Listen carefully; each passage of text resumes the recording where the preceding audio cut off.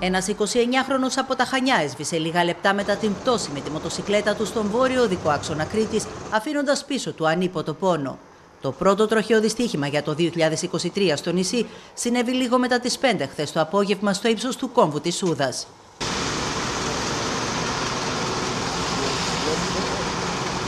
Ο οδηγός της μεγάλου κυβισμού μοτοσυκλέτας έχασε τον έλεγχο και προσέκρουσε στο διαχωριστικό στη Θέο, ενώ σύρθηκε για δεκάδες μέτρα. Ασθενοφόρο του ΕΚΑΒ τον παρέλαβε βαριά τραυματισμένο και στο νοσοκομείο Χανίων, όπου μεταφέρθηκε παρά τις αγωνιώδεις προσπάθειες των γιατρών, άφησε την τελευταία του πνοή.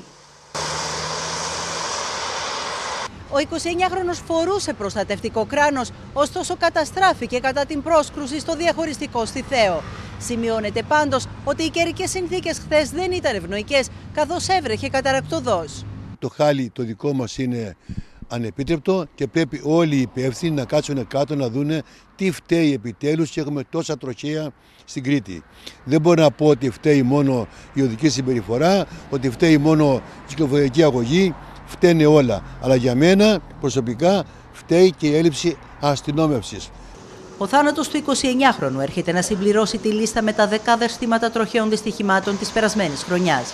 Ο συνολικός αριθμός των συνανθρώπων μας που έσβησαν στην άσφαλτο της Κρήτης το 2022 ανήλθε στους 56.